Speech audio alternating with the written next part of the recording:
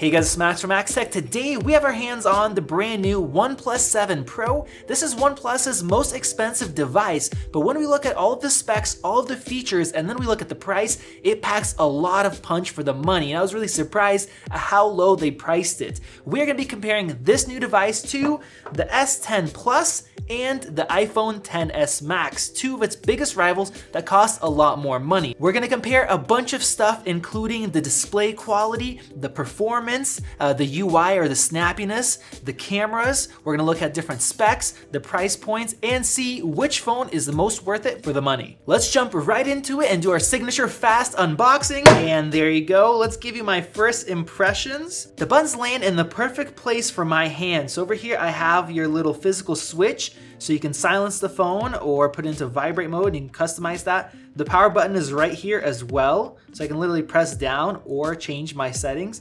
And on the other side, I have the volume rocker where my index finger is. It's a little bit hard to press, but everything lands perfectly and we don't have any Bixby button or anything like that. Even though the S10 Plus is a smaller device, it's not as tall. As you can see, the power button is way up high and I literally have to shift my grip of the phone to reach it. Whereas with the OnePlus, I don't have to do that at all, it's perfect.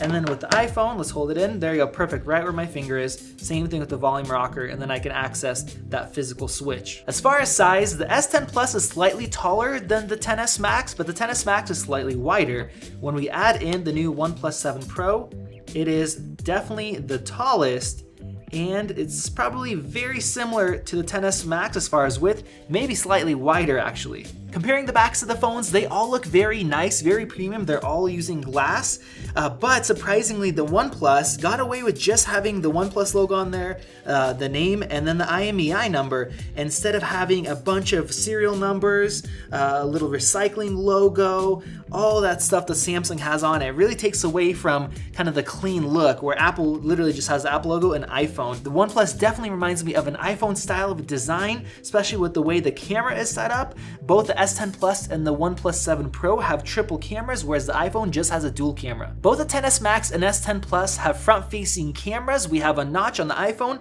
a cutout with the S10 Plus, but the OnePlus 7 Pro has neither of those. I know the screen's not on yet, but we're gonna cover cameras just a little bit later. And the S10 Plus is the only phone out of the bunch that still retains a headphone jack. The iPhone comes with a 5 watt charger out of the box, very slow. And if you want to get fast charging, you have to buy a special cable and a power delivery charger. The S10 Plus comes with a 15 watt quick charger included in the box, but the Snapdragon version does not support USB-C power delivery, whereas the OnePlus 7 Pro comes with OnePlus's proprietary warp charging, which is a 30 watt charger. It can charge the huge battery in this phone uh, to 50% in just 20 minutes. It's very fast, very efficient, doesn't heat up the phone very much, but unfortunately, if you're not using this proprietary charger with OnePlus's special cable or their car charger, you're not gonna get that speed and it will only charge at 7 watts no matter what you plug it in. So you have to make sure if you want fast charging, anything above 7 watts, that you keep this on hand. All right, so here we are at the home screen of the OnePlus 7, and I have to say it is nice not having any notches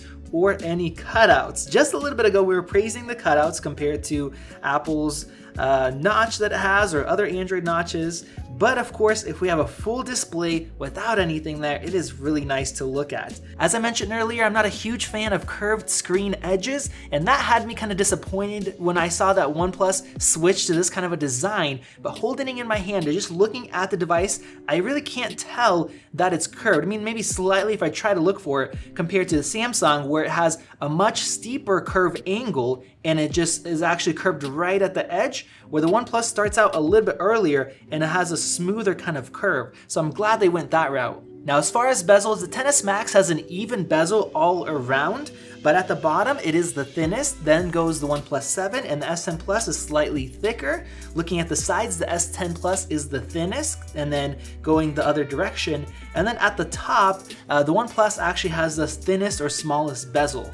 Now let's talk about that 90 Hertz display refresh rate. All these phones use OLED displays and typically OLEDs are stuck at about 60, but this is the first phone to have an OLED at 90 Hertz and I could definitely tell from the very get-go during the setup process just having that extra refresh rate makes everything super smooth. I'm not seeing like motion blur. If you're used to like an iPad Pro, if you've seen that, or like a gaming monitor, you know what I'm talking about.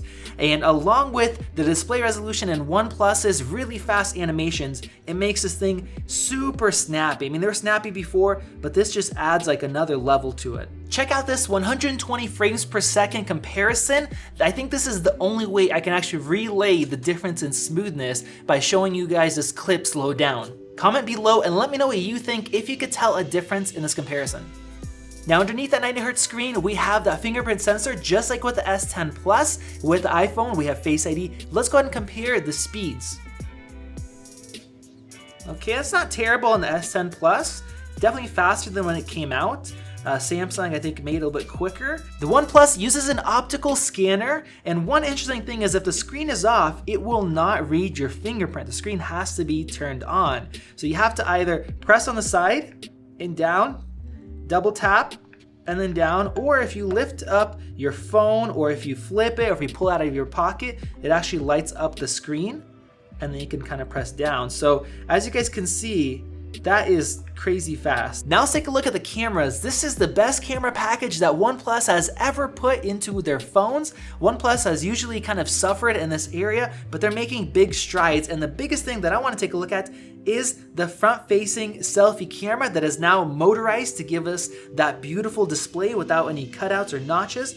Let's flip it up and there you go. That is very, very cool, very futuristic. I'm gonna take a selfie and uh, you guys let us know which one looks the best in the side-by-side -side comparison. Now OnePlus, if you guys get that pun, does not have any beauty filters enabled like the Samsung does out of the box, so that is very nice. And if we take a look at the back, we also have triple cameras just like the S10 Plus, and we're gonna be doing a separate video getting into that because there's so much to cover. We have night modes, we have, you know, really good dynamic range with the HDR photos, we have video. Make sure you guys are subscribed to see that detailed camera comparison. Now let's go ahead and compare the display qualities. All of these phones use OLED displays. The OnePlus actually has the highest resolution, but it's also the largest. And because of that, the pixel per inch is really, really close to the S10 Plus, and the iPhone actually falls behind just a little bit in terms of pixel per inch. So at this point, with all adaptive and auto brightness shut off with True Tone shut off, the iPhone is the brightest, followed by the OnePlus, and the S10 Plus is just slightly behind the OnePlus.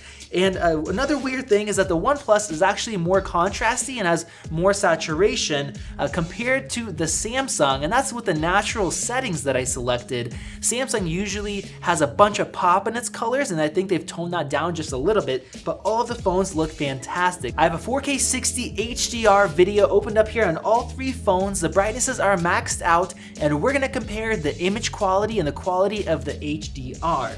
Let's go ahead and start playing this and right off the bat, I'm noticing something that is very, very interesting. As far as watching HDR videos, the Samsung is definitely in the lead. It not only has a ton of detail, the darks are very dark, lots of contrast. The brights are ultra bright, they really, really pop. The colors are great. Uh, the iPhone is definitely behind. Not as much contrast, not as much colors. The brights are definitely not as bright and the S7 Plus is in last place. Uh, the brights are brought down really, really low.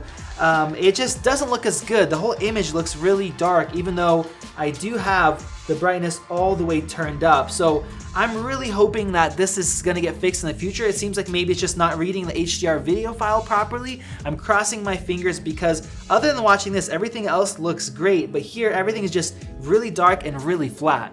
So now that we watched some video, let's do a speaker comparison. I'm very excited to test out how the OnePlus 7 Pro does. This has always been a weak point for the OnePlus devices. We're gonna start out with the XS Max, then jump to the S10 Plus, and then the OnePlus.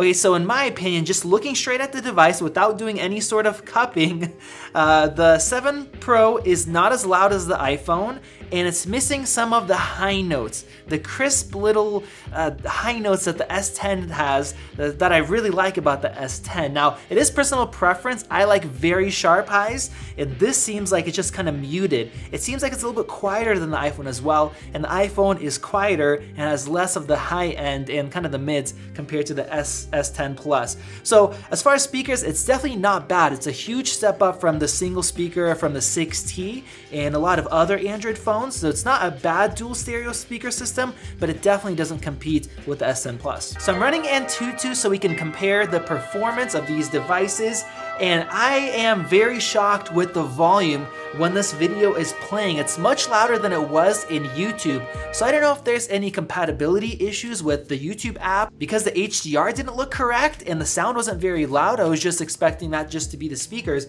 but in Antutu it is much louder and very loud for a smartphone. So I will be looking into this more and I'll cover it in my full review. The Antutu results are in and the winner is the OnePlus 7 Pro. Both the overall score, if we look at every individual category, it actually wins out other than graphics where it's basically the same as the S10 Plus. Of course, these do have the same processors. The OnePlus 7 Pro and the Samsung S10 Plus have almost identical scores because they have the same processors. They both have 8 gigabytes of RAM. It is very, very close here. The iPhone actually has a slightly higher multi-core score, but about 35 to 40% higher single core score. And that leads us to kind of our conclusion. If we look at all the features, we look at the performance, we look at the specs, the OnePlus 7 really delivers. That fingerprint scanner is super fast, the performance is great, the display is really nice, the speakers sound good. I'm not sure what's going on with YouTube, but we will figure that out.